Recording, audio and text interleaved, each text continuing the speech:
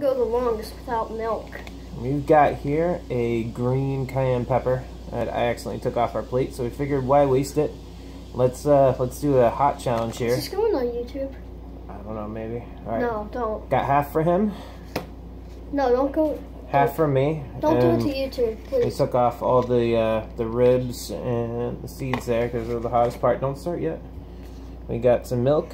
Who can stay the longest without drinking milk? We got milk, and we got bread. And whoever can stay the longest without it, that's what we're going for. Wins.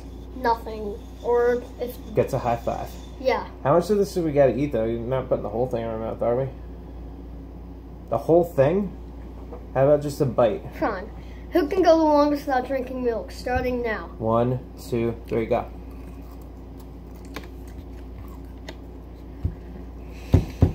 Okay. I'm chewing it.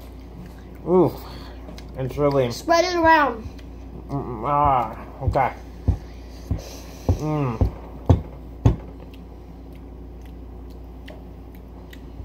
Ah, this is just gross tasting by itself. I kind of want to spit it up.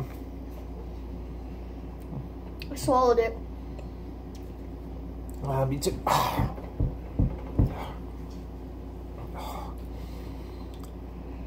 You don't need milk? Whatever. I give up. I ate the whole pepper. Dude, I just put the rest of the pepper in my mouth. Try my side. My side's got to be spicier than yours or something.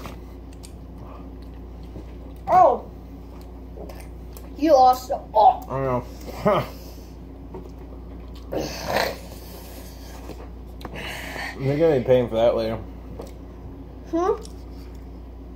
I think it burns going in. Wait till it comes back out again.